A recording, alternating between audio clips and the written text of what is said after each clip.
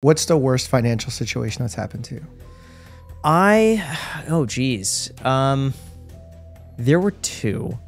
One I would say, which was a dumb move, dumb. Let's welcome to the channel Graham Stephan, finance extraordinaire, money wizard. He helps us learn everything we need to know about finances. But in this podcast, we talk about his cancer scare, about the worst financial decision that he ever made, and him fighting on Creator Clash. This is a really exciting conversation. I hope you'll enjoy it as much as I did. Let's get started with the checkup with Graham Stephan.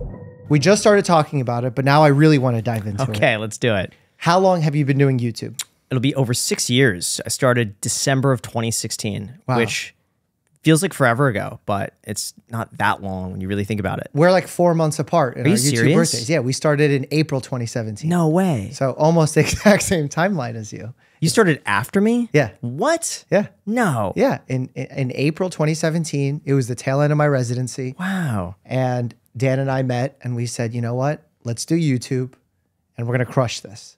And we did far from it. You did a first year. fantastic job. The uh, Doctor Reacts videos were how I found you initially. I Well, that's how it, the channel blew up. Yep. I Actually, you probably haven't heard this, but we got fired by our MCN, which is a multi-channel network Yeah. that I remember groups this creators- back in the yes. day. So we got hired by one initially. They were giving us some funding, and then they fired us after a year and said your channel's not successful. And we got really upset. And we said we're going to prove them wrong. One month later, Doctor Reacts goes viral. We get a million subscribers overnight, Gosh. and now they're out of business. It was a fantastic concept. It was a great Yeah. concept. I mean, the whole idea of Reacts was already out there. Yeah. And the whole purpose of doing the YouTube channel was doing things that were already successful and making them medical. Isn't that how you started with your content as well? Yes. Uh, and by the way, my second channel, The Graham Stephan Show, Mm-hmm. was uh, partly inspired by you and Dave Ramsey. Dave Ramsey had the Dave Ramsey Show. I had The Graham Stephan Show. But the Millionaire Reacts series, which is what I started with, was inspired by your Doctor Reacts. Okay. So I got Doctor Reacts, Millionaire Reacts. And those first few videos I did on the channel, a lot of them got anywhere from like 200,000 to a million views on like a brand new channel from Millionaire Reacts when it was like brand new. So I owe that partly to you. Wow. Okay, Yeah. that's exciting. Did you like? How did you make the decision to split up the channels from doing uh, uh, like your single channel and then creating new avenues of different channels? Yeah, because I'm always torn on that. Yeah, everything is algorithm oriented. So when I saw on the main channel, there was a format that fit and worked. And I know, at least for myself, when people throw everything at one channel, they tend to not watch the videos because they might only be interested in one out of every four things that gets posted, and then they watch nothing. So my thought was that I'm going to do separate content on other channels, and if people are interested in that, they'll subscribe both places. But I don't want people to see something that they're not subscribed to. Got it. And if I'm a person that lives on the moon and I haven't seen your content, what is your content about? It's all personal finance based. So anything in terms of uh, my thoughts on investing, saving money, uh, building wealth, real estate. It was started from anything that I wanted to see myself on YouTube. I just made videos about it. Uh, back when uh, you know I was in my twenties, uh, mid twenties, didn't have a lot of friends who were interested in like personal finance, Okay. and so I would just be Most on- 20 year olds are not. I would be on Reddit in all of these like financial independence, personal finance Mm-hmm. subreddits, and just talking to people about personal finance. But I thought, oh man, it'd be, and I loved watching YouTube. So I just thought, how cool would this be if I could talk to other people about personal finance? And there's no other videos on YouTube that were talking about these things. So I thought I could do that. And. Were you seeing the same mistakes repeated by your friends and peers? Yeah. Oh gosh, I had a buddy, and uh, I won't name him, but uh, he got a two hundred dollar bonus for Thanksgiving. Okay. And blew it and more at the bar the same night he got the bonus. Well, that's what the purpose of getting a bonus. And I was no? like, dude, what are you doing? You could just like invest to do a Roth IRA. He's like, no, man, you I got wanted my him whole to invest his 200 bucks in a Roth, IRA. Yeah, and Wow. his but his mindset was, you know what? I got my whole life ahead of me. I'm just gonna have fun. I could do that when I'm 30. But I'm like, dude, the compound interest. If you just invested right now, get that that extra five years uh, could be substantial. But you blew it at the bar. But here's the thing, though. I noticed with his budget is that when he had the two hundred dollars, he'd be buying everyone drinks and doing this and that. When he was like nothing, he would find a way to make the nothing work as well. In terms of like you know just buying cheaper stuff or doing this or do, like he'll find a way to budget. So he just made use of whatever money he had. Um, but I just thought, man, if if someone could just say like, hey, instead of spending two hundred dollars at the bar, let's uh, meet up at your place beforehand. We'll take an Uber down there and we'll spend a fraction of the cost. Got it. So it wasn't that he was spending his money; it was the way he was spending it that bothered you. So it bothered me. Someone else spends their money. Yeah, it did. It's just the principle of it. I don't know. It's it's just the idea of wasting money. how do you differentiate between wasting money and spending money? Oh, that's a great question. I think a lot of it's relative for me personally, and uh, you know, I I rail on people for I think spending too much, but for me, it's it's what gets the biggest bang for the buck. And so, if you could get ninety percent of the experience for ten percent of the cost, I'd be like, that's a great deal versus chasing that little extra bit. Um, So I've always viewed things as like what gets the best bang for the buck, and and optimizing that. And do you feel like in general, twenty year olds don't think about it that way? Just starting to. I've noticed now it's started to become trendy. to, like- Really? yeah, to like start saving. money. But maybe I'm I'm in a weird group where it's like they're all like kind of personal finance enthusiasts. I've I bet if I went to a college campus, maybe it would be different. Mm-hmm. But I'm finding it to be more mainstream now. And ten years ago, it did not used to be the case. Interesting. And where where do you think that cultural shift is happening? Because I would like to think it's YouTube. I would Really? li- I would like to think that it's become I think Shark Tank had had a big pull on people to uh, think about business and becoming an entrepreneur, doing their own thing. I think the internet, social media has really opened people up to communicating with with others who are like minded around the world. Uh, but I would like to think that YouTube had a big push in just content that's out there that people just stumble upon usually. It's like, oh, I didn't know I should do that and open a 401k and all the benefits of that and just like trying to make it cool, I think is really important. but you did that before YouTube, before Shark Tank. So what got you into it? Uh, well, I mean, I used to watch Shark Tank as a kid. I mean, I was 17, 18 years old. I think that show came out in 2008. And then before that, it was Dragon's Den in Canada. Okay. And I watched You were there, too. watching it Oh, there, yeah. okay. Oh, yeah. Because I have But a you lot of family in Canada. in the business world already at that age as a teenager. Yeah. I was always just Where does that come from? I don't know. I just always naturally like inclined to save money. Like, you know, as a Oh, kid, you get like, you know, birthday money or like, you know, Christmas or grandma would like send you 20 bucks or something like that. and put it in an envelope.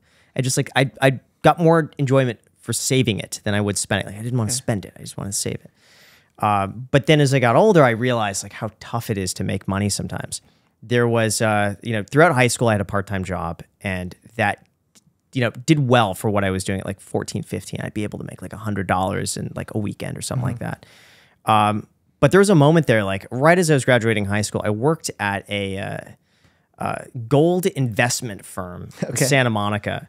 And I got minimum wage doing data entry. And this is like a weird point. Bef- like my my high school kind of ended around February, but we didn't technically graduate until like April. So I had this mm-hmm. weird stint there where I was like waiting here back from colleges and I wanted to work.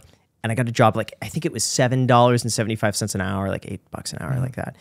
And I remember looking at the first check after like two weeks, or it was a week and a half, and after taxes being taken out, how little it was. And that just reset my gauge for like, if I buy a Starbucks, that's an hour of my time. Do I really want to spend an hour working extra to pay for the Starbucks? Same thing with going out to lunch. The lunch could be like $15. It's like, do I want to work two and a half hours to pay for the lunch? Like, that just makes my day two and a half hours longer just to break even on that. Mm-hmm. So I just found ways to optimize. But that set my thinking at like how far a dollar could go.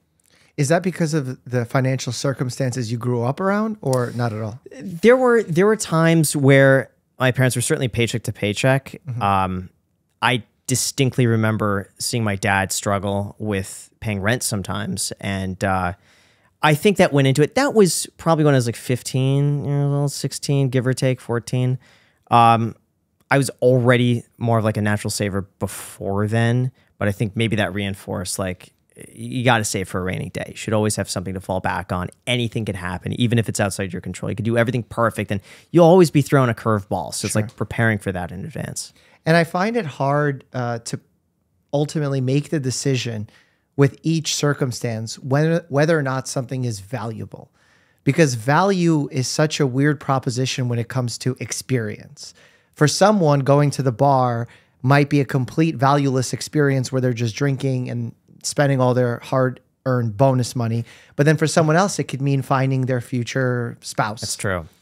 So, how do you balance that between, okay, I'm going to go all out and have fun and enjoy my time as a young person versus I got to be responsible and save? Do you ever have those two angel demon? Uh, no, situations? I I was extremely disciplined throughout my twenties. I for me it was it was saving was was the bottom line. But I enjoyed saving. So I was I, like I got enjoyment and pleasure from like not doing that. It was almost like a game for me to be like, how can I make ten dollars last? You know, there's two days, and what groceries can I find? Like for me, it You were fun. making YouTube videos Yeah. before that was like a concept. right but but my thinking was that if if you hunker down for your 20s Mm-hmm. and like live below your means do everything you can work nonstop and just just say that you're going to sacrifice a decade in your 20s you could really set yourself up for the rest of your life depending on how much you make and how much you're able to save and where you live obviously there's so many variables to that but i think for a lot of people if you just i'm not saying never have fun but i'm saying sacrifice 10 years in your 20s from 20 to 30 live like you're broke. Live like a college student with a whole bunch of roommates. Work your ass off. Get two jobs if you had. Do anything you can. And by the time you're 30, I think what you've set up there will compound for the rest of your life. And that's kind of how I've operated. And only now am I starting to like take the foot off the gas a little bit and like enjoy the things. But then I'm coming back to it. I'm like, man, I just enjoy working. You know, there's nothing that I could really buy that like I, I have I have more fun sitting down and planning out a video or going on a podcast than anything else at this point. Sure. Because my question would be, and maybe it's partially me playing devil's advocate. You're hunkering down in your 20s, you're saving the money for those 10 years. F- for what? What is the end goal in the 30s? Okay, you have money saved up and maybe you have more flexible spending. That itself doesn't buy you joy. If you hate the process of saving, is it worth Yeah. doing it? You know what it is for me? It's the options. I like having options Mm-hmm. of like, not that I would do it, but like hypothetically, okay, I want to go to Florida tomorrow and fly first class if I wanted to. I could do that, and that would be okay, and that would be sustainable, and I wouldn't have to go broke doing it. And if I wanted to do that every day, I could find a way to make that work. I, I like having the options, Mm-hmm. and having that freedom is is just it, it takes the stress off everything else. Just knowing that anything is possible. Have you ever sacrificed your health for the benefit of savings? I would say yes. I would say, well, no, for savings, we could put it this way. Uh, 2020 and 2021 did not go to the gym at all. Really? At all. And I would go to the gym really since I turned 18, I would go four to five times a week. Was that pandemic related or work related? Uh, both. Initially, it was pandemic related. The gym closed down. Sure. And so I used that time to work instead.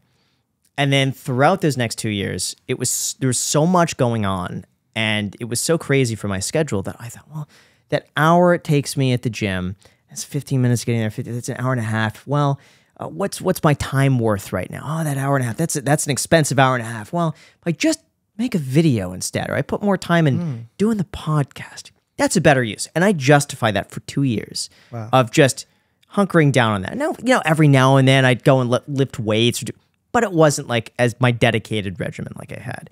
Um, and that also went with like when you stop going to the gym, generally tend to eat a little bit more. You're a little hungrier for some reason.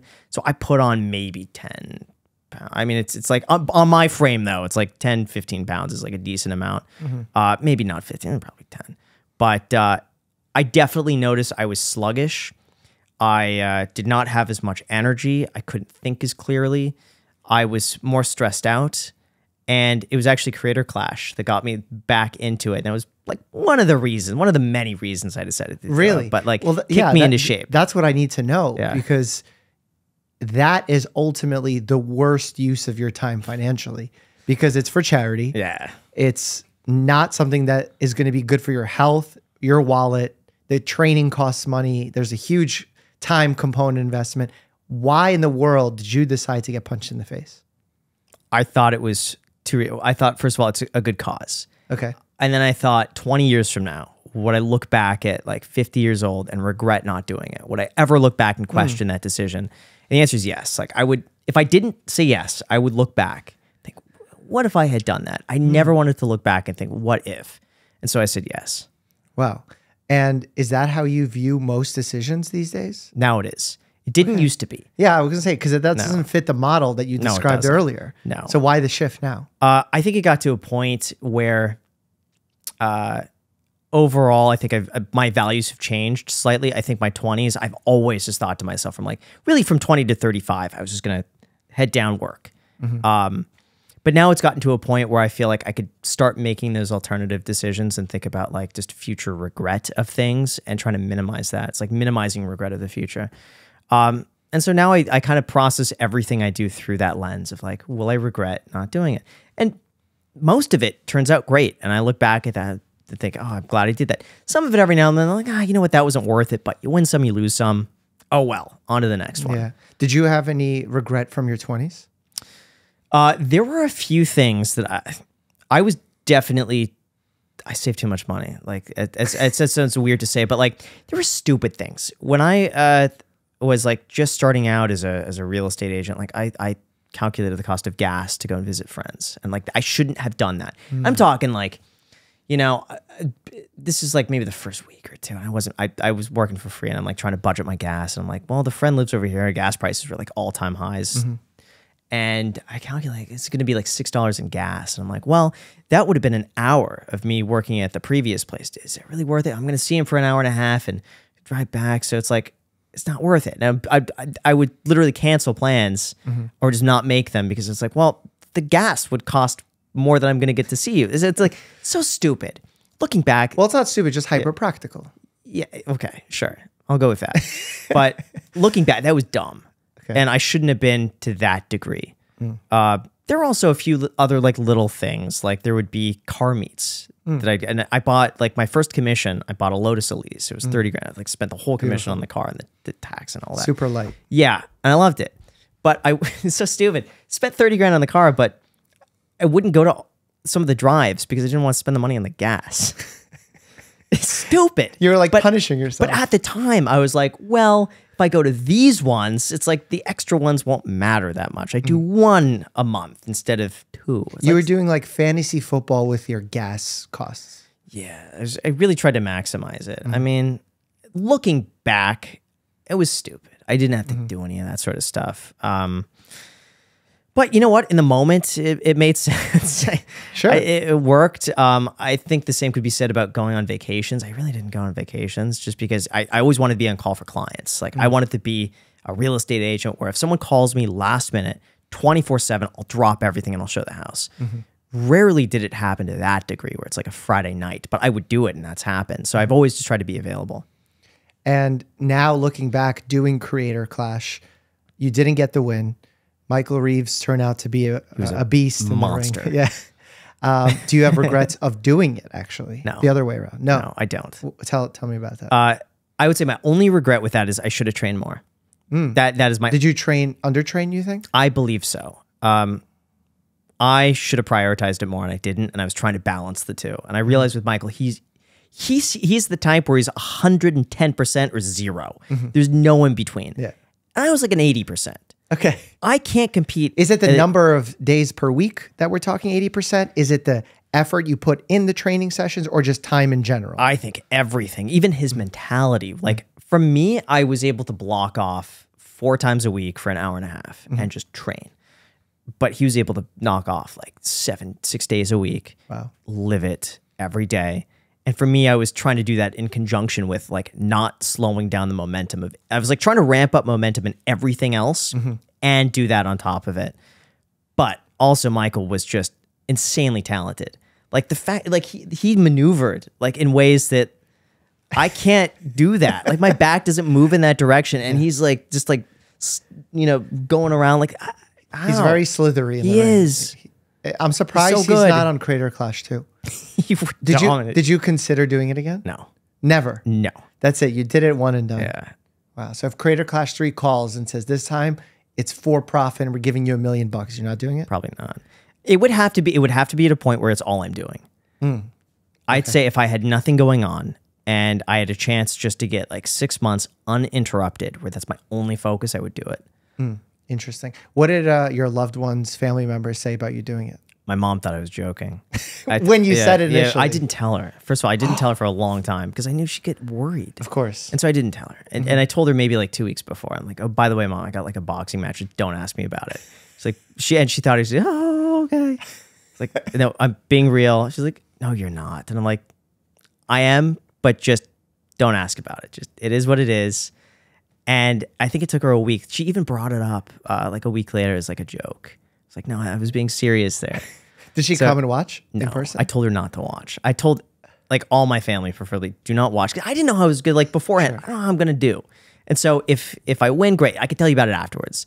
If something happens, I lose or I get hurt, I'll hear about it afterwards. So there's no point. you so didn't want I them kept to it be under concerned.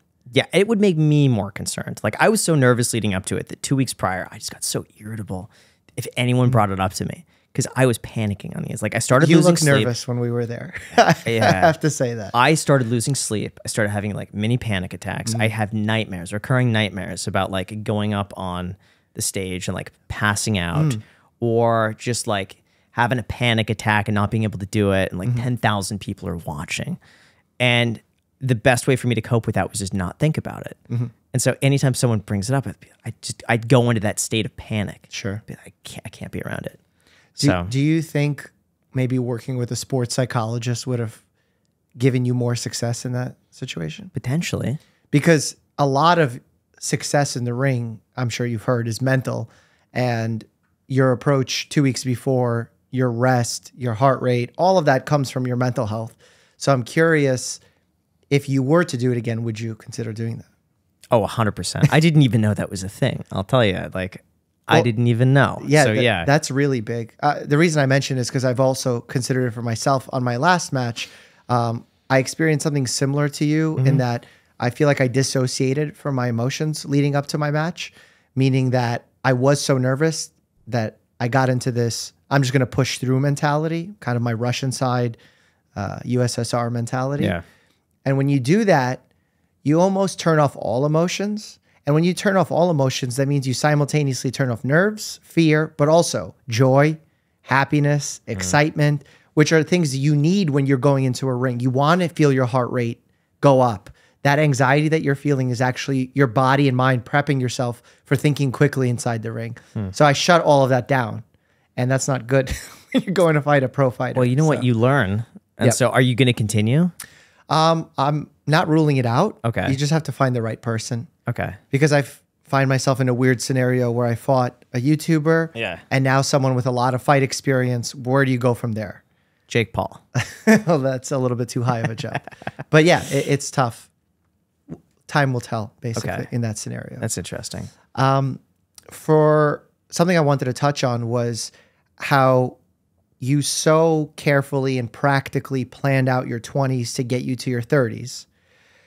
Do you have any feelings of decreased happiness now that you are at the point where you wanted to be in your 20s, if that makes sense? None. I think now I'm at a point where I got to try to figure out what's next mm-hmm. and what's beyond it because when you have like these goals in your 20s, I feel like once you once you hit them, it's like what's the next goal? And it's not mm-hmm. it's not a money goal. It's like wh- where do I find the biggest happiness? Where where do I get the most personal fulfillment? Mm-hmm. I'm trying to find what that is and and what leads me to continue learning. Uh, sometimes I feel like I've, I've tapped out in terms of what I'm what I can accomplish in one area, and I want to continue that and, and figure out what's next. I just don't want to be stagnant. Uh, so now it's a bit of a I, I'd say this is some exploring years where I could really figure out like where I'm the happiest, what I want to be doing, and what's like what's what's bigger than just me. Okay, and what is that? I don't know. I'm trying to figure it out. Like even How are me, you trying? I'm traveling. Uh, this is like I, I never would have come to New York in the past. Like two years ago, me would be like, no, I'm just I, I got to stay at home. I got to be in my office. If I if I don't do like this thing, th- I was so regimented by that. Like even taking an hour break, I would just feel antsy because I'm like, I got to do this. Um, now it's gotten to a point where like I I I find more enjoyment doing these trips and like Wow. trying it. So this is a bit of an experiment of like, hey, taking five days. Uh, now we're still working like nonstop, going from like, but it's it's a different sort of thing with with podcasts and traveling and getting to see new new places and people, and it's all these different experiences that I did put off in my twenties. Do you have like a baseline level of anxiety in general? Would you consider yourself? I don't think so. I, I think I'm pretty practical. I'm I'm I would say I'm prone to overthinking things. Um, that's probably the worst of it. Is just any scenario I'll I'll play it out like from best to worst, and Okay. and I'll prepare myself. Be like, if if this goes bad, this is the worst case scenario, and it could be anything to like the best case, and I'll do that with anything. And does that ever get you to a place where you're so worried about the negative outcome, the worst outcome, or not at all? You you find yourself Not really. Uh, there's a great book called The Art of Not Giving a Fuck. Okay, and that's subtle and yeah, the subtle art. Yeah, that's it. Um, and it's just accepting the worst. Uh-huh. And if you could be okay with the worst, you're fine. And so I'll play out scenarios, and it's the worst case scenario. Um, like you know, if I'm buying a property, okay, what's the worst case scenario? Like really, what's the worst case? Okay, well, you buy it and uh, there's a massive earthquake in Los Angeles. Uh, Okay, well, get insurance for that. Or you buy it and the real estate market goes down fifty percent. Okay, what about rents? Oh, yeah, and and so I run through every scenario uh, on that, and I just accept. Okay, well, that's the worst. And can I live with that? Yes, then I'll move forward. What's the worst financial situation that's happened to you? I oh geez. Um there were two. One I would say, which was a dumb move. Dumb. I put I think 250 grand into Robinhood stock when it dropped. It went from like 90 bucks to 30 something or like 28. Isn't I- it like at seven now or something? It was nine, nine fifty. that was it was stupid. But And by the way, I'm and- laughing. I did the same thing. Yeah. So we're in, the same in my defense, before people call me irresponsible, 90% of my money is in index funds. Mm-hmm. This was like, you know, a small portion of my a small portion. I put it in Robinhood. It was dumb. I shouldn't have done that. Um, and Why did you do? Do you have such strong belief in? I looked at I looked at Robinhood. I thought objectively they had a strong cash balance. Everyone on Wall Street bets post Robinhood screenshots. People hate Robinhood, but they're still using it. And I thought to myself, they're not going away anytime soon. Um, I think I thought this would be a safe long term hold. Time will tell, but I have sold off of it uh, and used that to harvest losses against gains that I've made. So you know, it is what it is. But Fair. you know, And what was the lesson, second? lesson learned? It was a business that I started up. I don't want to go into too much detail about it, but uh, it lost 230 grand. Wow. But I tried it out. Didn't work. Not for me. Moved on from it. Okay. Well, we all have misses because in order to make a shot, you have to Yeah. miss. But you know what? My misses, I would say, came from when I when I deviated from the core of like what I really wanted to do. A lot of these things were like Experimentation. Yeah. And a lot of it is when we're, when we're on the podcast, I get a lot of suggestions, and sometimes it's hard for me to to go with my gut when people who are way more successful than me say, "Graham, you should be doing this, and you should be doing this. If I were in your position, I would do this, and uh, I do that, that." And I listen to it. I'm like, "Yeah, you know what? They're way more successful than I. Like, I, I should listen to these people." And at the root of it, the more I've listened and the more I've done that, that uh, you know, maybe that I wouldn't have done on my own, it doesn't turn out well. And so a lot of that comes to do with like, you know, outsourcing, hiring, uh, doing this and that. And, you know, at the core, it just made me realize like how much I enjoy just a small team working uh, on a couch in my living room. Like just so simple. And that's when I'm the happiest and without stress. It's just, just doing things small. And I think that's where I've found the most enjoyment. That's uh, at the heart of every YouTuber, right? That's Yeah. how we started. And there's pressure always on YouTube to continue growing because within the algorithm, if you're not growing, you're stagnating. Yeah. And if you're stagnating, someone's outperforming you and it hurts. So there's always pressure to grow, but then you don't want to grow too big where you lose control and you give up control and stop enjoying the things you once enjoyed. That's a very tricky sort of business to maintain. But you, you you're almost painting it in a negative light that you tried something that someone else recommended or something that wasn't exactly what you wanted. But isn't it just a form of experimentation where you needed to step outside, you know, your own Yeah, gut? potentially. I th- part of me thinks I could have done that for a lot less. Okay. but because I look at the value of that, like, you know, I could learn that for 50k. Mm-hmm. But you know what? It is what it is, and at the end of the day, I mean, Well, we have to yeah. balance that because Yeah. you know, you talked about two bad losses. What are your what's your biggest win? There's been a lot of them. I mean, are we talking? Oh, Are we talking about like? okay, are we talking about like investments, or are Yeah. we talking about Yeah. like just anything? Deals, investments. Oh man. Um. Well, one of them, well, basically any anything real estate related that I've done has done extremely well. All of those have been fantastic. Two two really stand out. One um, one is a duplex I bought. Uh, five hundred eighty five thousand dollars, and and it needed a lot of work. But this was a listing. It, it, it was worth six fifty when I saw it, and the agent didn't know what they had. They just the guy was from out of town. Had no. I just put it up at this price. It was the first one to see it. I made an offer that same night, and I told them they have to accept it at asking. um, or maybe slightly lower. But I got him to accept it that night, and it was instantly worth like seventy five grand more than I was paying, like instantly. And I fixed it up. And as I was fixing it up, I'm like, I could move in this one side, and like I started doing the math on this, and like if I rent this out, uh, I, I could build the garage out as a studio and use that as tax write with the equity. It worked out to be a free place to stay. So fixed it up, uh, started working out of the garage. It was a one bedroom duplex, maybe like 700 square feet. I loved this place. Okay. And it was free. And it was like the zero dollar duplex because I got it reappraised and I pulled out, I did a cash out refinance from all the money I put in it out. And it's still, uh, well, at that point, it broke even. But it was basically a free place to stay that I've had no, none of my own money in. And I got to live there. And that was like the coolest thing ever. Just thinking, like, it, I, I got I get to live in Los Angeles in a place that I love with like a garage. And that's my studio. And like it's free. So I love that. Okay. Um, then the other place was um, I guess the, the home I'm living in in Vegas. I mean that was that was luck. Okay. But it was like not the worst of COVID, but like really when that first went down, I put I think it was like 15 or 12% down on the home. Uh, and then since I had my license at the time, I was able to reroute the commission against the down payment. And so I was in this thing maybe like 10% down on a 30 year mortgage at 2.8%. percent Uh, right before Vegas just took off, and I think I think the, the home went from like one and a half uh, to maybe two point eight at the peak. Now it's probably down to two two, two three with the market going down. But mm-hmm. like it does, I'm not gonna sell it. Sure.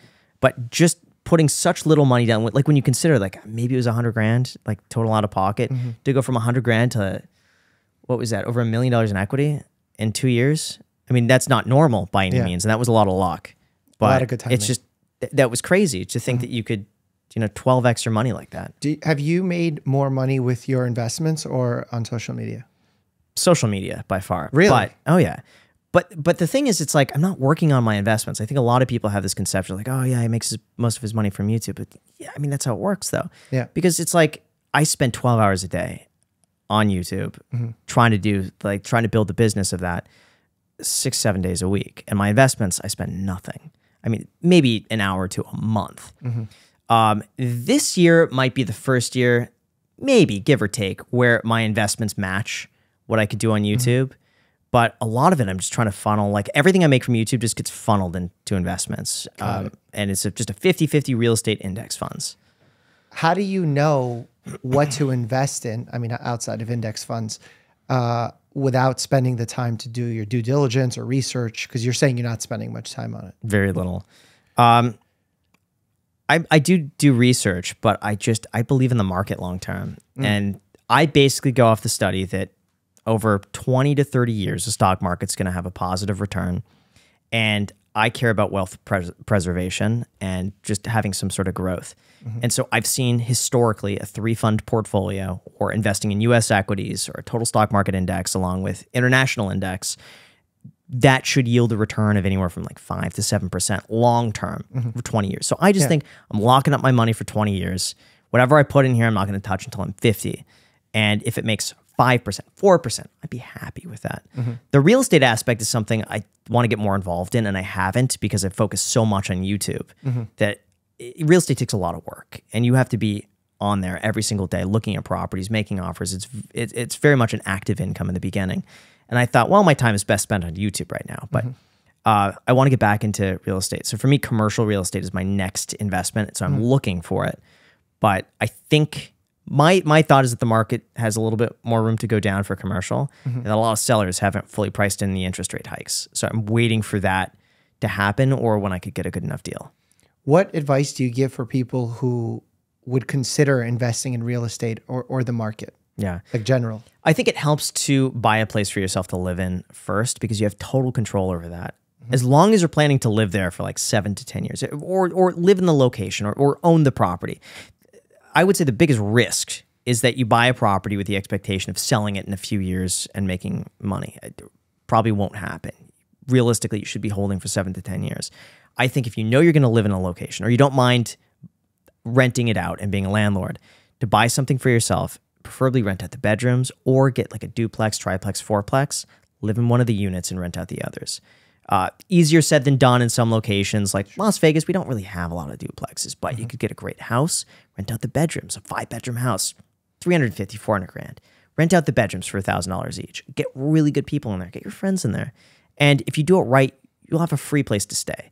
The average person, I think, spends like 25 to 33% of their income goes to housing. Now imagine it's like now you could see it as though you just got a 25 to 33% pay raise. You're making 33% more money because you did that uh, and made that decision. And sure, you live with roommates for a little bit, but I think it's a again a sacrifice that you can make in your 20s. If you have a good credit score, you have stable income. And then what about for equities? I take a very passive approach personally of just index funds.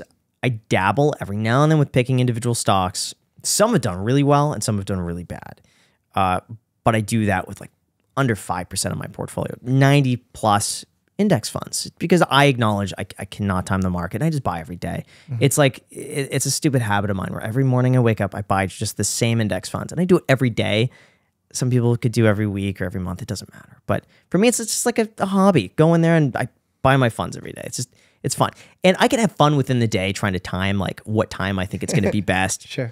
It's stupid. It's just a game. Like it makes no difference long mm-hmm. term. But Because long I- term, when you're thinking 20 years, what's the difference? what's the difference of like 12 p.m. to 1 p.m. and like but but sometimes I enjoy if I see the market trending I could guess like I get it get it out of my system in the day it's like it's going down down a percent I'm like could it go down 1.2 place a limit order and like see if it hits every now and then it does What's the worst financial decision you see us make, like 20, 30 year olds? I would say not setting up a Roth IRA I think it's just it's something that a lot of people could be doing that don't and it's incredibly easy. So a Roth IRA is basically an account that you could set. It's a retirement account where you could invest money after tax. So like let's say you make thousand dollars in a, you know a week or whatever. Um, after taxes, that'll be seven hundred dollars, eight hundred, whatever it might be. So you're taking that eight hundred dollars that's left over after tax, and you're investing it in a Roth IRA or an account. And by the time you're 65, all that profit you make within the account is tax free. So you're able to invest it in stocks. You could, uh, you know, do index funds. There's a multitude of investments that you could make. But the goal is that when you're young and doing that, you have 40 years of compound interest, where all of a sudden that, you know, $800 you invest could be worth, you know, $8,000, $5,000, and it's tax free. And and the limit I believe is $6,500 a year. And there are ways to get a, you know, more than that, or if you're above the income limit. But for most people, it takes 10 minutes to set up an account. It's super easy to do. If you have any questions, call the broker. Vanguard is one of them. Just call them up. TD Ameritrade or, or uh, Fidelity, Charles Schwab, anybody. Just call them on the phone. You can set it up in 10 minutes. And you could have a great life when you're 65 plus Yeah, I mean, without sacrificing much. it's it's sixty five hundred dollars a year. D- It, it depends. For some re- it's, for some people that'll be a ton of money. For others it'll be nothing. But I, mean, think I think after you factor in compound interest, it's going to be a good amount be- of money if you're doing it in your late yeah. teens, early 20s. Oh yeah, you could you could be a millionaire from this. Just just doing that. If you just did five hundred dollars a month, and again, to some people it could be a lot or a little. It doesn't have to. It could be a hundred dollars a month. Mm-hmm. Just something to get you started. My uh, from what I've seen is that usually once people get started, they get excited about it and they want to do more of it. Mm-hmm. So even if it's fifty dollars a, a month, it doesn't matter. Just as long as you get started and you get to see. Once you see it growing, you'll just become addicted to Sure. it. Hopefully. What's your take on the, the crypto and alternative asset world of NFTs and such? That's a good. I've ne- I never got into NFTs. I could never understand it. Um, I thought crypto punks were something that I could see like maybe one day. Like that, I think it's an interesting concept. Per- my personal thought for NFTs is that it should be a way to verify ownership or authenticity on the blockchain. So my thinking is that a Gucci bag should come attached with an NFT that you could probably scan and be like, okay, this is real, and this is on the official Gucci whatever, some Rolex watches, like like things like this, or or maybe a house uh, to verify ownership. Of that like these are all concepts, but but the idea that someone could generate like a whale image and make four hundred grand for that, that's stupid to me. Okay. Uh, as far as crypto, I believe ninety five to ninety eight percent of it's probably a waste and there's no purpose for it. If there's not a purpose, like a, a lot of them are, I just feel like are only there to make money. I think Bitcoin, Ethereum are the two that are interesting to me. Um, and I, right now, I think it makes up about three, maybe 4% of my total portfolio is, is a 50 50 mix of Bitcoin, Ethereum. Mm-hmm. I think at the peak, it was maybe like 6%, 7%, give or take. But I figure 3%, I'll take the risk on it.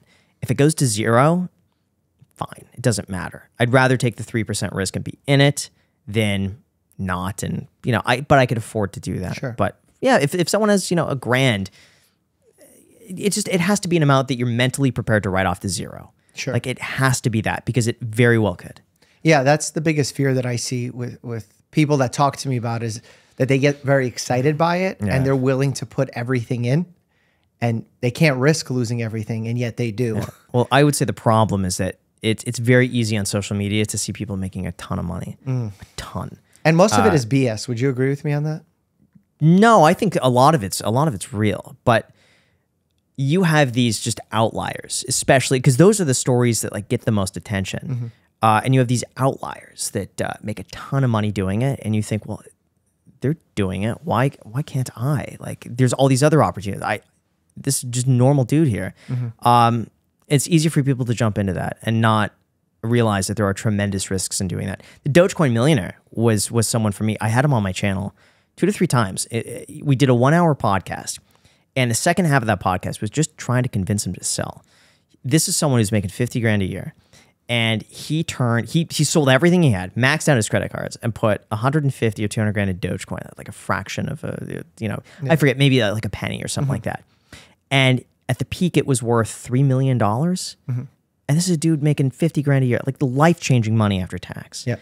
And we broke it down. I'm like, dude, you will never have to work a day in your life after tax. Invest it in here. You could pull 3% of it out every single year. That's your salary. You've made your salary for life. If you just sell right now, why take the risk?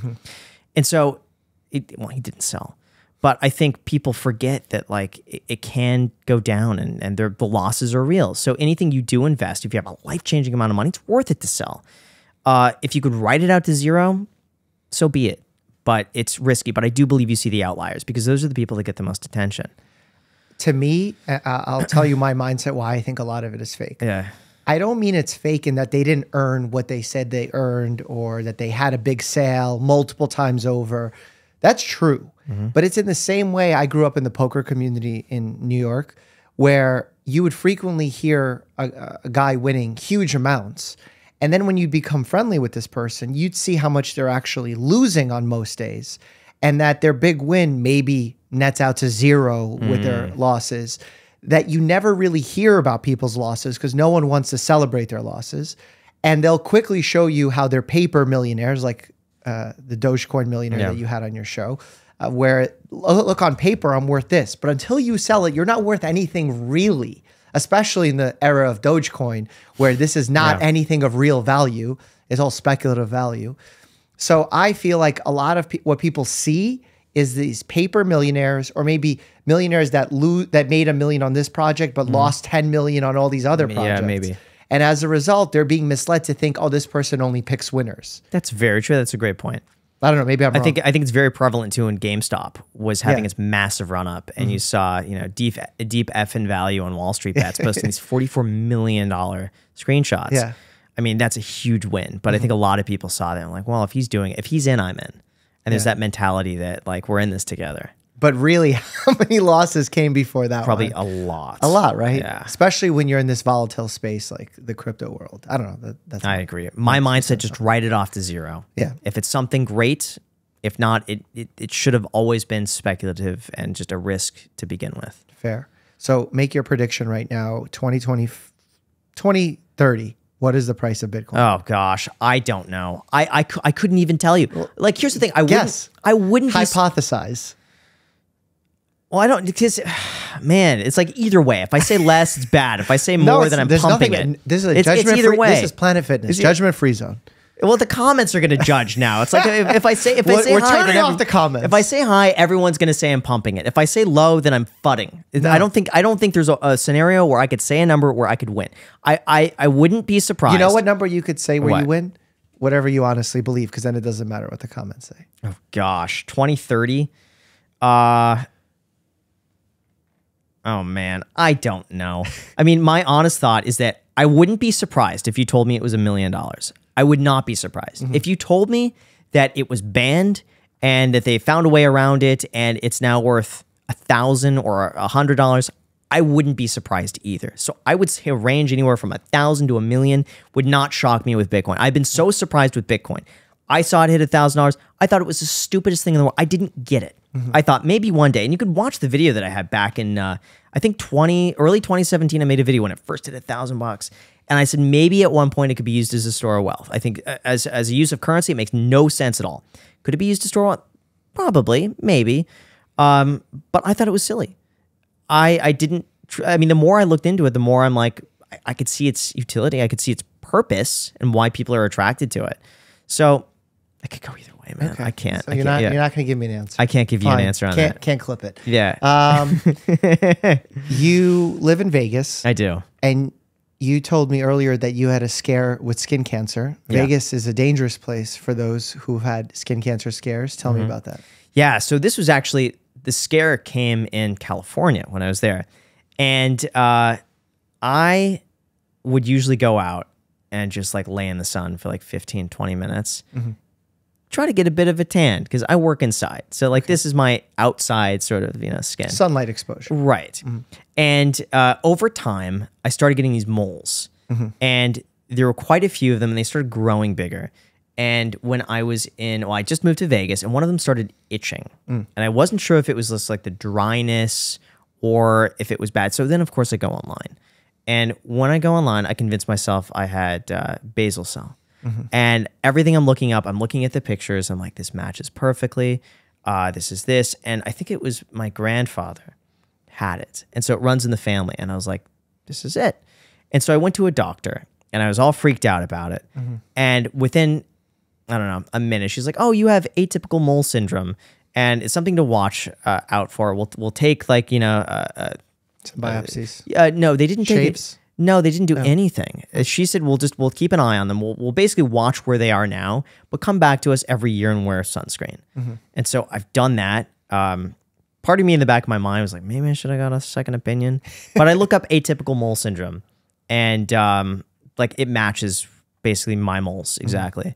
But it's something in the back of my mind. But I now I stay out of the sun, or if I am in, I'll put sunscreen. Sure, that's wise. Um, the the thing with atypical moles is, for me, I like to investigate them and make sure they're good. Obviously, during doing a dermoscopy, uh, did they put some kind of magnifying glass? Yes. Or any kind of okay, so they Yeah, did, she that. did. That- that's a that's a, a good place to start because there you could see certain things that you can't see with the naked eye Yeah. because you get to see a little layer below. Um, but I'm glad that you were diagnosed with a non-cancerous condition. Yeah, That's me too. And Yeah. you got a good uh, active takeaway from it to wear sunscreen. Yeah, exactly. And I was never a sunscreen proponent until Mm-hmm. like after that, and now I'm just better safe than sorry. Okay, that's awesome. Yeah. Um, are there any other ways, being a, a world-class investor, that you invest in your own health? Uh, I would say, you know what? I kept up the boxing trainer. Really? Yeah, I still do that once a week, Okay. and it's something that forces me in to go to the gym and keep it up and not lose that skill. And now I'm going to the gym like five, six days a week. I have a log where now I feel guilty if I don't go. Like now I try to make like gamify it where if I could go every day, it's like even better. Mm-hmm. Okay. Uh, and cardio is something I hated cardio. Boxing got me into cardio, and Mm-hmm. what so kind now of cardio? uh, either a, a walk on a steep incline, like I do the 13 incline on the treadmill uh, with like the 3.2 Speed. yeah. speed uh, for 30 minutes. Okay. Gets That's me really good. Or running, which I hated running before. Wow, I couldn't okay. stand it, but I got running shoes. I, the problem was that I was running without running shoes. I'd wear Vessis, thinking like I didn't know. You're like, But then I got waterproof." yeah, but, but then I got running shoes. I'm like, oh man, this is so much easier. Like I was doing it wrong. What running time. shoes did you decide on? I don't know. Oh. I just went to the running shoe store and they fitted it, and I was off to the races. You were sold. Okay. Yeah. Um, and then do you do anything unique for your health? Do you take any kind of medicinal herbs, supplements, Maybe I should. stuff? No, no, no. I don't. I not. don't. Oh, you know what? I've been trying to get better about drinking water. Okay. That's something I've been terrible about. Like I'll go all day just drinking coffee, and then I get to dinner. I'm like, I didn't have any water today, well, when you're drinking coffee, you're drinking water. but probably not as much as I should. Like Well, each cup of coffee is mostly water. I heard it's a, a diuretic, right? So it's like, So caffeine is a diuretic. yeah, Um, and consuming coffee kind of negates the effect of the diuretic. Okay. Because the diuretic makes you create urine, but you create urine from the water that's within the coffee. Okay. So it's not a dehydrating thing per se, because it's a net neutral. Um, but if you're having espresso shots, that can be dehydrating. I am not. because then you're having caffeine without all the liquid. That's interesting. Mm-hmm. Okay. Uh, yeah, I did. Uh, you know, it's funny. I did a sponsorship with this company, Copilot, Mm-hmm. and it's like this personal uh, trainer that they get you on. I work with them too. Yeah, Okay. I like them. Yeah. Mm-hmm. My guy was like probably the same guy. I'd imagine was like, dude, you got to drink more water. Okay. And so he set me up on this thing where it's like I'm supposed to drink five water bottles a day and then track them off on the app. And I'm uh, as I started doing it, I've not been perfect about it, but as I started doing it, I was like. This is how much water I should be drinking. Like it's a lot. Like I'm constantly. Mm-hmm. well, the if you're working out, you need more water. So absolutely. But or if You're I'm just or if I'm just sitting though, like because I'm s- I'm sitting most of the day and I'm working out at night. Yeah, And but when so, you're like- working out, I'm assuming you're sweating. Yes. Yeah. So Yeah. that's probably. Remember, you also get uh, water from fruits, vegetables, foods, not just be better about water. eating fruits and vegetables too. Yeah. yeah. Well, My that's diet's why. not the best. I mean, it's it's healthy, but it's like Greek yogurt, that's like a amazing. salad, What but you- like but no fruits and like. What's a salad? That is a vegetable. Well, I guess so, but like I'm thinking like fruits and Okay. Well, like fruits are important stuff. Yeah. for sure. But um, there's a lot of misinformation that exists in the world of being healthy, health and wellness. Has any of that come across your radar where you were curious about it or you had questions about it? Whether it's fitness related or Uh, I would say probably two things. One, uh, the amount of sushi I eat. Okay. I don't know if that's good. how much sushi do you eat? Probably twice a week. Oh, that's not much. Is it? No, Yeah. but but they're they're all you can eat places. Like Vegas is all you can eat sushi, I so love it's like that a lot. you're trying to maximize bang for your The buck. thirty dollars all you could eat sushi Neko in Las Vegas. Okay, They're- I don't know. They're so popular all now. you can eat sushi. I'm really nervous what kind of quality fish you're getting. It's amazing. Really? Yeah, it's funny. I talk about them all the time, and almost every time I go to Sushi Neko, there's like a subscriber there, or like Really? multiple subscribers that are there, and they always say, "Dude, we came in Vegas. We we heard you talking about Sushi Neko, and we're here." wow. It's funny. Okay, so you got to be careful with your mercury. Yeah, and then I probably mean, red whi- meat. Which yeah. fish Huh? do you consume the most? Probably salmon. Oh, well, that's like a healthier fish. Okay. Because the fish you want to avoid is like swordfish, the bigger fish, basically, are the ones that have higher rates of mercury. Okay. Basically, those bigger fish that eat smaller fish that then concentrate the mercury. For sure.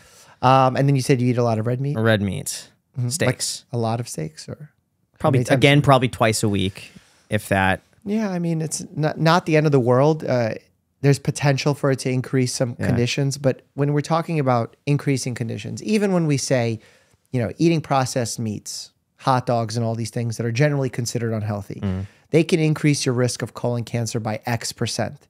Remember, that percent that we're talking about is off of the baseline lifetime risk.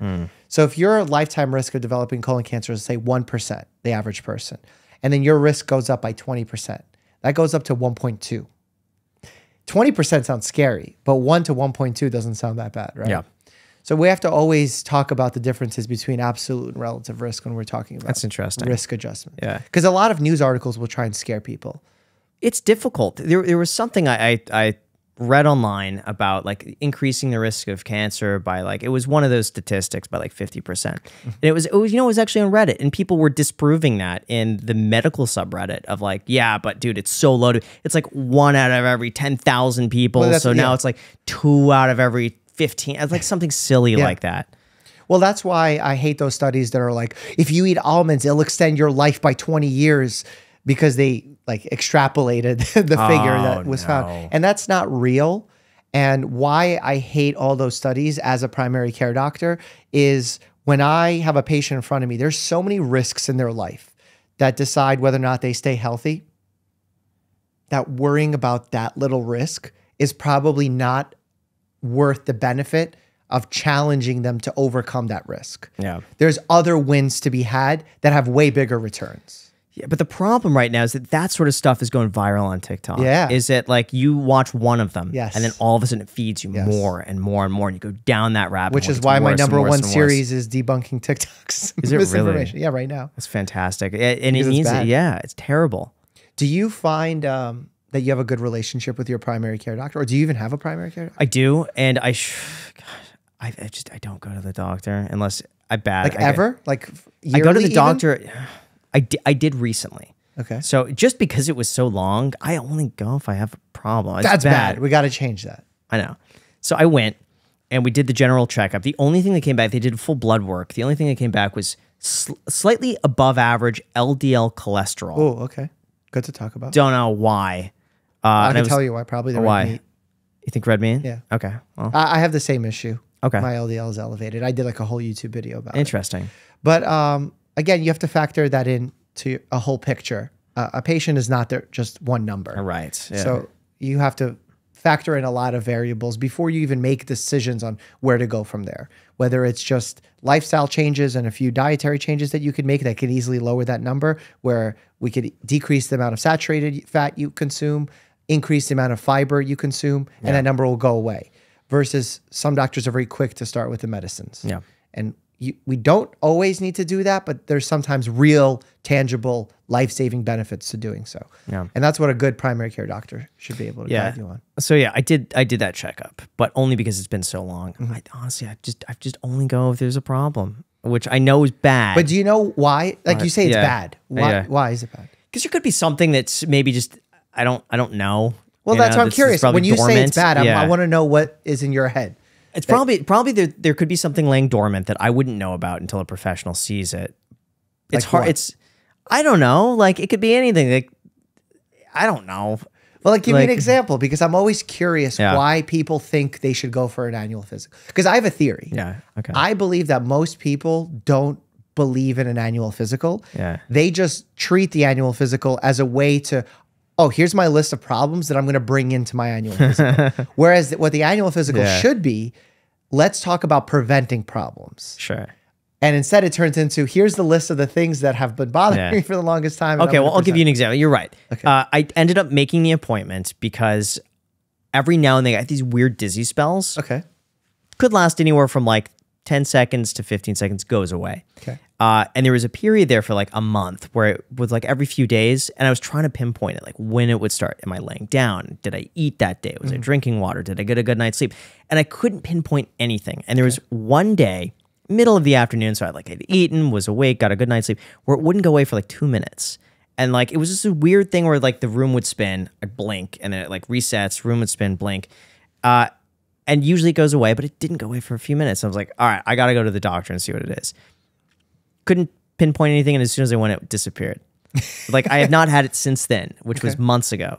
So I don't know. It fixed itself. It fixed itself, but that was the reason. That was what prompted me to go. I was like, all right, just in case. Well, see, that I'm glad you went Yeah. because a lot of people will postpone going and wait for the thing to become bigger, maybe more serious, Yeah. or maybe just build up anxiety around it and create other negative problems from the anxiety around it. But the reason that I recommend people to go yearly for a preventive visit is a few reasons. One, there are specific tests that we do that have an impact on your lifespan and mm-hmm. quality of life, like cancer screenings, like vaccinations. These are things that we do to actively catch things early. And we cannot catch all things early. Any doctor that starts ordering every test under the book willy nilly is doing you a disservice. There's things that we know we can catch early and act upon. And then there's things that we can catch and have no utility, or maybe the test is not made for that. And as a result, we're going to get mixed signals from it. So it creates a very murky picture. So preventing all problems is impossible, but there are certain things that we can catch early and be pro- proactive on. And then also, there's lifestyle things that happen to us, like the foods we eat, the exercise habits we have, the mental health that we're experiencing, um, and even something as simple as social connections that during a doctor's visit should be elucidated. Because I'll have, you know, a 25 year old female come in, female patient, and I'll ask them if they feel safe at home, and we find out they're in a domestic uh, abuse situation or intimate partner violence that would have never come out unless they went to a primary care doctor's office. And here we can create some strategies on how to mitigate or maybe get out of that relationship or create safety mechanisms. And that's one example. Then you have like sex health, that's another example. And there's a lot of these things that a good primary care doctor can talk to you about to prevent problems from becoming worse. So it's not miraculous. Sure. We can't catch everything early. There's no like miracle see-through magnifying glass that we have, but there are certain things that will create tangible benefits. What should I be looking for at 32, 33? A 30 I, I won't do it to you because i'm not your doctor but i'll say a 32 year old male should be looking out for prevention of early onset cardiac disease by living a, a healthy lifestyle, making the necessary lifestyle changes, making sure that their sugars are in good shape, making sure that their cholesterol is in good shape, because that will set you up for success as you get older to mm-hmm. lower your risk of heart disease. That's our biggest killer in the world. Uh, well, mostly in the United States, but worldwide, it's a big issue as well. Um, risks for sexual health, making sure that you're as safe as possible there. Um, do you have any family history of anything? Or does this hypothetical patient have? yeah, hypothetically, uh, I would say Alzheimer's, dementia, uh, skin cancer. I think that's it. yeah, so skin checks are going to be valid, especially given uh, the location of where you live. Um, and then also behavior with alcohol and other mind altering substances. I don't just mean drugs, I mean even caffeine as well. Like the timing of when you're uh, consuming the beverages, how they impact your sleep, your rest, because the idea is to get you as healthy as possible to the older age Yeah. right now. So, alcohol, caffeine, sexual health, making sure your heart's in good health, and then mental health. Got it. Those are the biggest things for Let's you. talk about caffeine. I'll Yeah. usually have, I, I think I'm pretty responsible for it. Usually two cups a day.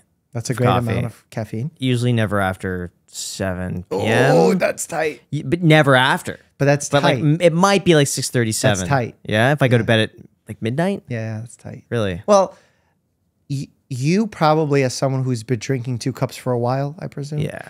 probably won't feel the effect, but it's t- definitely having an effect on on the quality of sleep. Feeling refreshed in the morning, you would get a bigger benefit just pushing a little earlier. Really? Yeah. Now, what about going to the gym right before going to the bed? Because usually I'll drink a bit of a coffee before going to the gym. Mm-hmm. So if I drink a coffee at six, I'm going to the gym at like seven, seven thirty. I don't mind that. Yeah. I think that's very individual dependent. I've had patients that they work out at night, they fall asleep like a baby. Mm. And then there's patients who can't because they have an adrenaline rush, they can't fall asleep. I'll tell you what it's like for me personally. I if I have a low to moderate intensity workout, uh, I can sleep great even if I worked out at 10 p.m. Mm. But now if I'm doing sprints or something for like boxing training, no shot I'm going to sleep well for the next 3 hours. Okay. So it depends on what you're doing, what stage of life you're in. But if it works for you, the this, the exercise is not the end of the world. Okay. Cool. Yeah. So yeah, caffeine is um, it, it's one of those things in medicine where if we look back each decade, we've had differing recommendations. Oh, it, it will cause cancer. It will prevent cancer. It will extend your life. It'll shorten your life. I It's choose to believe it'll extend your life. Well, I think the reality two cups probably won't have the impact that you think it will. Yeah. So again, it falls into that category for me, not worth worrying about. Yeah. I see some of these things though that now have like 300 milligrams of caffeine or this pre workouts that you see. Oh yeah. I don't get those. But do, do you know how much caffeine is in a large or whatever they call large in Starbucks grande blonde roast? a blonde roast. My guess is probably 75 to 85 milligrams of caffeine. 400 plus. What? A blonde? Wait, wait. Explain this. Yeah, I, don't, I can't. How how is that is that specific? Because a cup of coffee is like 65 to 95, right? For a cup of coffee. I mean, it depends how strong the coffee, but yeah, I would say 80 to 100 is my range. okay.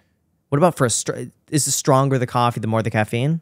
Well, when you say stronger, are you talking about bitterness or darkness of roast? Darkness. Darkness lower the caffeine. Okay. Yeah. But what about the thick coffee, like the gr- like the you know it's like like a mud? I don't know. I don't know about the muddy. Okay. But the, the light roast, that's why the blonde roast Yeah. is the highest amount. wow. And it's 400. I and didn't know there's people who throw uh, espressos shots in there as well. I didn't know it's that much. And 400 is the cap that we recommend medically to have in a day. And people are having that in one drink. what do you think the long term effect is on the caffeine use today? I think it's so the the bot the human body works on two nervous systems.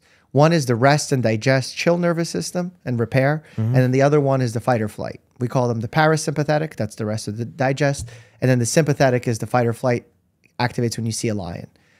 In our current society, I think we're all sleep deprived. So we're ready. We're living in that fight or flight mode to keep us awake. Because if not, we'll be falling asleep in our chairs at mm-hmm. work.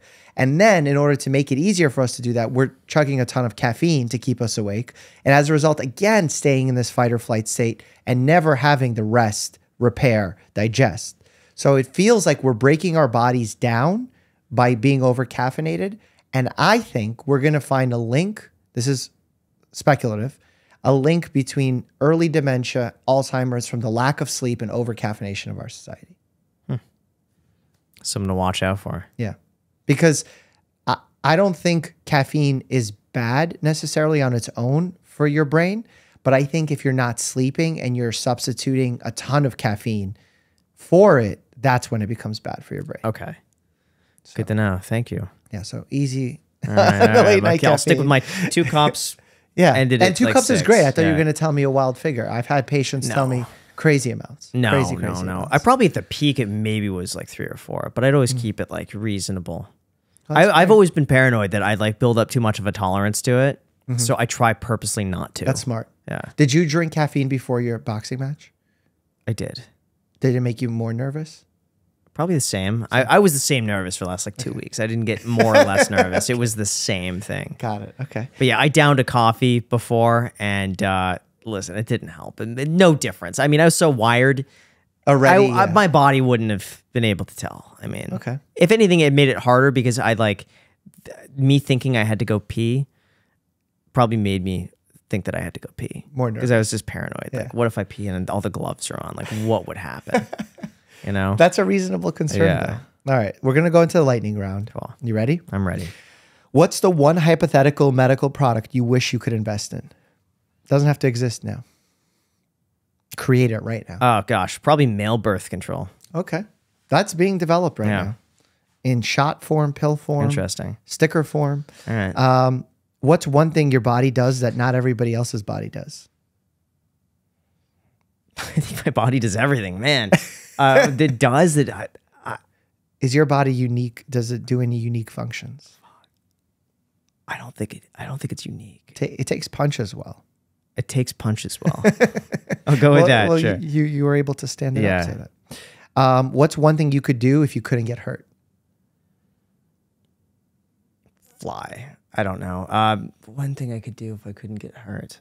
Um, I'm terrified of heights, so I would say maybe bungee jumping or uh, skydiving. Fair. Have you ever been seriously injured? Never been seriously injured. The worst was uh, I was on a fence as a kid, third, second grade, and uh, a buddy of mine pushed me off the fence as like a fun little joke, and I hit my head right here on the corner of the uh, the planter, and it was stone. And I hit my head open. I had to get like twelve stitches. Okay, well that f- puts us into the next question. What's the most physically painful thing that's ever happened to you? Was it that? Uh, physically painful, probably, probably. Yeah, I would say I would say that, but again, I was a kid, so I don't. Okay, so your shots fired at Michael Reeves not hitting you hard. Yeah. What's your guilty pleasure that you spend too much money on? it would be my reef aquarium 310 gallons right when you walk in the front door and it is yeah, there's no expense spared on that tank How much is 310 gallon aquarium cost? uh it was $50000 for the install and then i probably spent another $15000 on like random stuff i added up the costs uh recently i was just adding up all my expenses and i think i spent nine grand on stuff this last year but a lot of that's fish and coral like a lot of that's discretionary so if i see like a cool fish coral like upgrade i'm all about i love it Coral upgrade. Okay. Yeah. You hear that, kids? Save in your 20s, buy fish in your 30s. The rare fish market is booming right now. Really? No, it's Do you it's a- trade fish? It's a it's a meme. Oh, okay. It's like the rare fish market. Um, do you have a personal health hack or tip that you love? uh, someone told me a while ago the hardest part of going to the gym is just like getting there. And so when I don't feel like going, it's just as simple as putting on your shoes and walking down there and just thinking if I could just do five minutes. But when you do the five minutes, you'll do the full thing. Wow, that's you and Barbara Corcoran gave the same tip. Are you serious? Yeah. Oh, that's cool. Great minds. Um, and then last but not least, have you given away Liver King's chain yet? No, I don't know. I've I've yet to wear it because I feel like it's not me. It's so like flashy. Yeah. Part of me thinks maybe I should wear it and mm-hmm. like try to get that abundance mind mindset. I gotta. I, I feel like I'll know when it's the right time. Okay. I don't know. Do you have any suggestions on that? I don't. But does he make claims about the chain? He said it was given to him by. Ky- So the story behind the chain was that Steve will do it. Gave it to Kyle as a gift for helping him grow his channel and his mm-hmm. brand. Kyle gave it to Liver King on his podcast. Liver King gave it to me. Um, Liver King told me it was supposed to be to show me abundance and to believe that uh, you know anything is possible and you could do it. And uh, Does that advice carry less weight given the nature of what we've learned about oh Liver King? gosh, I mean, certainly to some degree. But you know what? I think I think at the end of the day, I think the intention still remains just as powerful as when he gave it to me, Okay. and I don't think that discounts the generosity of that gift. And I think just the story and the chain, literally, figuratively, uh, the chain of like you know giving Custody, yeah. you know, through multiple people. I would love to hand it off to somebody else. I, I'm hoping just the time presents itself. Ideally, I would love to. If, if, I want it to be like really meaningful to whoever receives it and to like Okay. really make a difference for them. So Okay, whenever that happens, That's going to be a good good story when you do. But I can't wear it. It's just like first of all, I'm too paranoid about having something that valuable just like on my neck. But then also, it feels like too like blingy, like Yeah, too very- flashy. Well, it's Liver King. and then I have a question from Yeah. Sam. You're a successful real estate agent. Pretend I'm a virus. Sell me on moving into your body. Wow. well, okay. It's going to be cozy. a little cozy in here, but you know what? Uh, great. uh, Well, I don't get a lot of sunlight either. I was about to say a lot of you get a lot of natural sunlight. You don't get any sun if you like shady, you like cozy. Uh, but you know what? It's not a fixer upper, and uh, it, a prime location. We'll put it that way. Okay. So uh, move in ready. Okay. What a great conversation with Graham Stephan. Uh, learned a lot about finances. Hope you did too. Click here to learn about TikTok scams because these are legit. Never buy these, never put your money into them. And as always, stay happy and healthy.